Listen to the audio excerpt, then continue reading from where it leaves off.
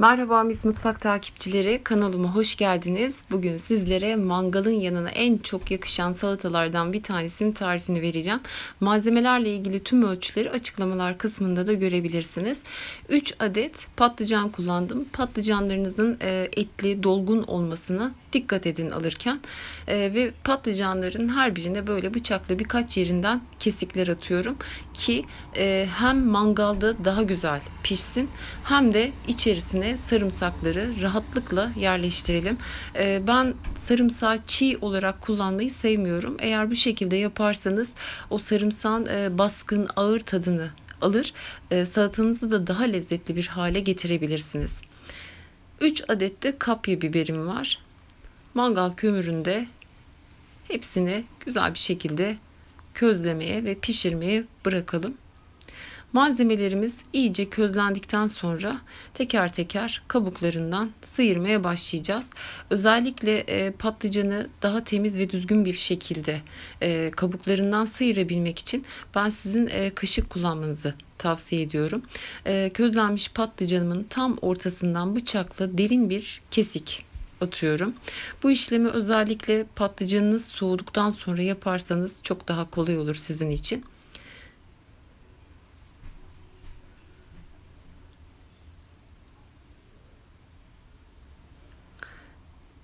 Kaşık yardımıyla patlıcanın içini kabuklarından rahatlıkla sıyırabilirsiniz.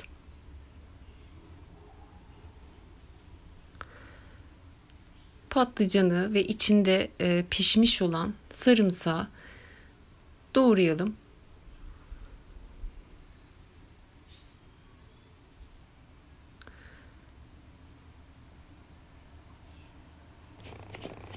Çekirdeklerinden ve e, kabuklarından güzel bir şekilde temizlenmiş kapya biberlerimizi de aynı şekilde doğrayalım.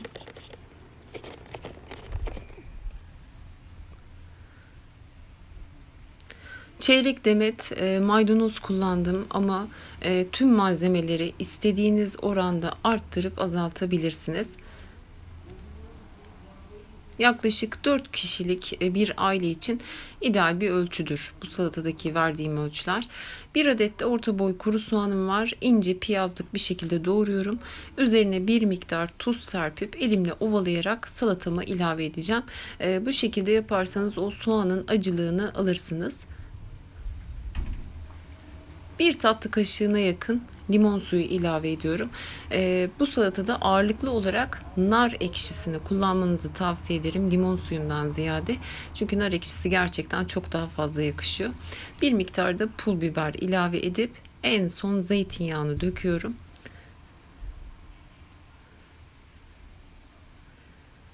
Muhteşem lezzetteki salatamız servise hazır.